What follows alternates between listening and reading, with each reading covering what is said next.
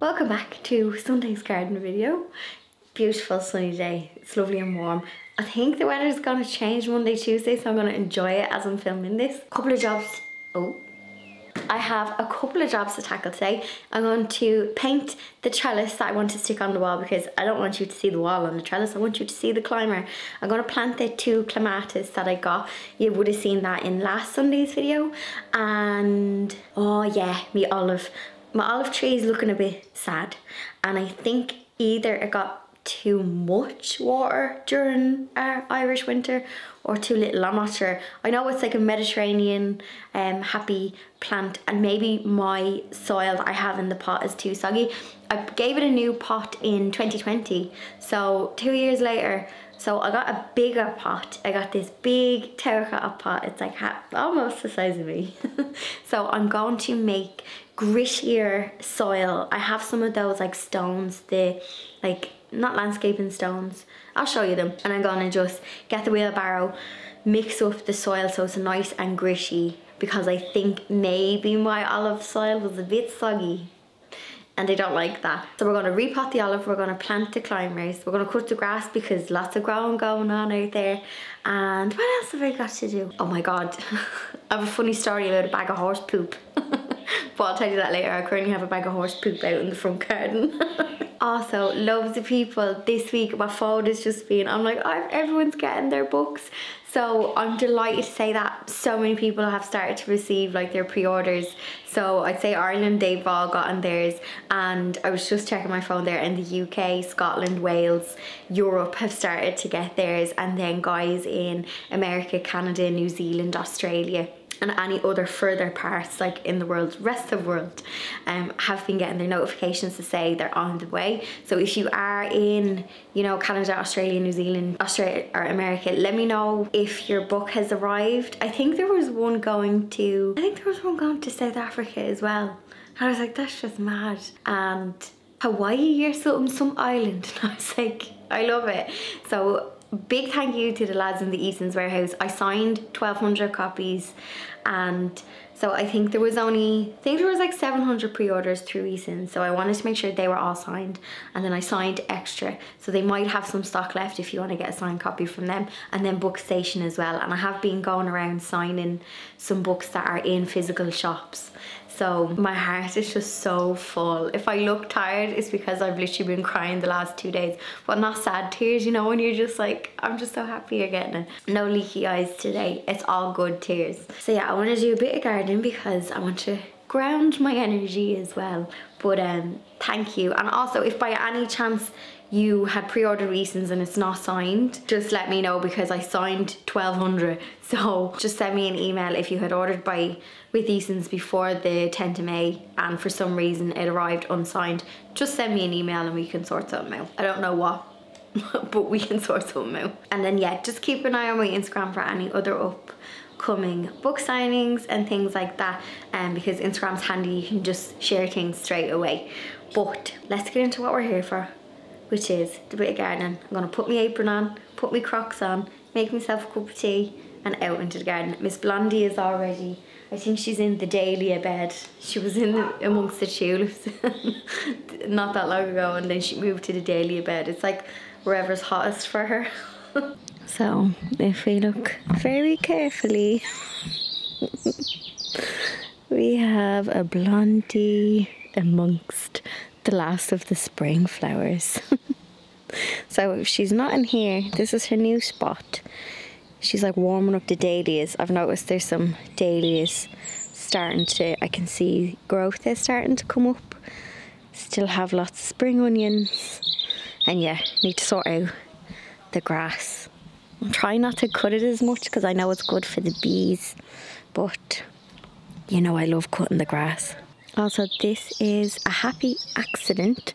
So, loads of sunflower seeds just reseeded from last year when I left like a seed head sitting on the thing. But what I did was I just thinned them out because they were growing really close together. So, I just thinned them out. So, when all these grow, I have a free bed of dwarf sunflowers that Mother Nature has just grown herself. So, I do have some cosmos planted in here. Um, and whenever there's some gaps, I'll pop in some zinnias. Oh, Miss Blondie has changed her spot. so yeah, very happy with my accidental sunflower bed.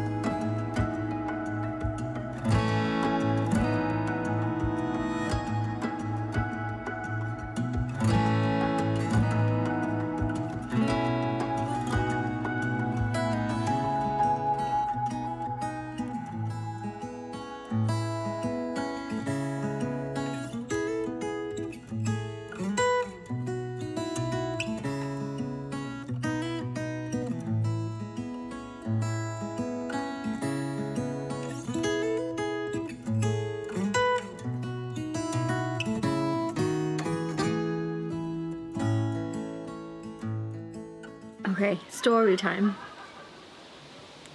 My neighbour's having a right giggle.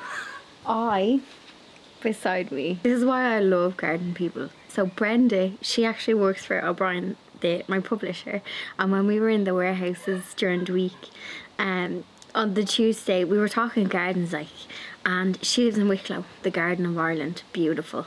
And I think she has horses. I think she, has she, she either has horses or she knows someone who does, or anyway, she was able to get me the finest of Irish horse manure. And uh, she's like you never guess what I have. And I was like oh my god Brenda do you have horse poop? Like do you have for compost? And she's like it's well rotted.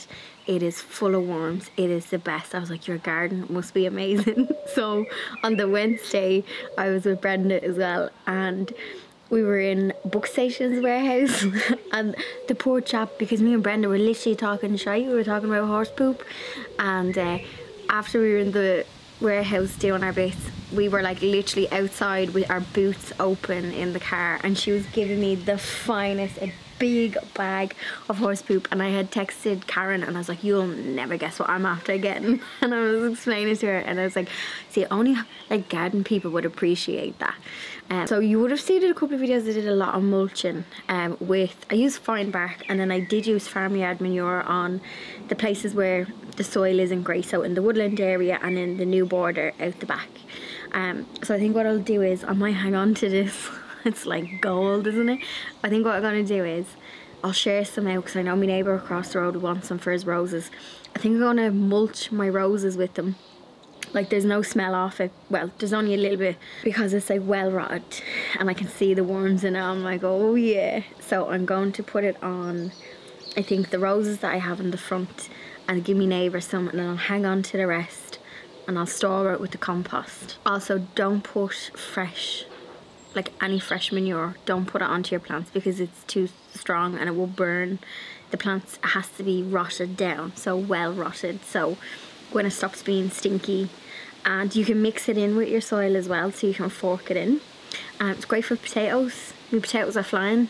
I don't think they need any more poop because um, I did mix farmyard manure when I was doing them bags up and I have all the foliage on top so they're full to the brim. So yeah I think I'll what on roses but it was so funny. Me and Brenda like we were being professional and doing our book signings in the warehouse and then literally talking about gardens and like here's the bag of poop. And I'm like I love it. I only done one clematis because I want to put on the olive tree and cut the grass and my niece and nephew are coming for a sleepover in an hour and a half so I want to get that done and then I'll paint the other trellis and put the other clematis in. But um, I just stopped for a tea break. I'm going to put on my olive. The pot that I got for the olive I got in it's actually it's called the M50 Christmas Garden Centre. M50 no the M50 Christmas shop is where it is at Christmas time and then they have a garden centre there too.